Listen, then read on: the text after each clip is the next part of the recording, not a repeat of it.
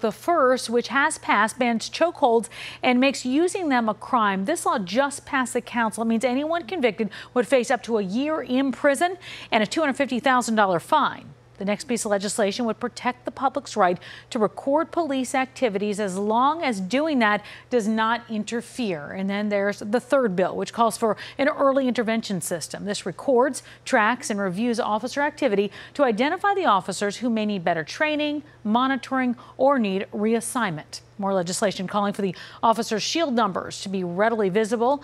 And another bill that just passed calls for the NYPD to be more transparent about the surveillance technologies that they are using. And that includes how it works and how the information obtained will actually be used. And finally, that bill calls for guidelines on how to discipline officers when they commit violations. Speaker Corey Johnson spoke specifically about the chokehold bill.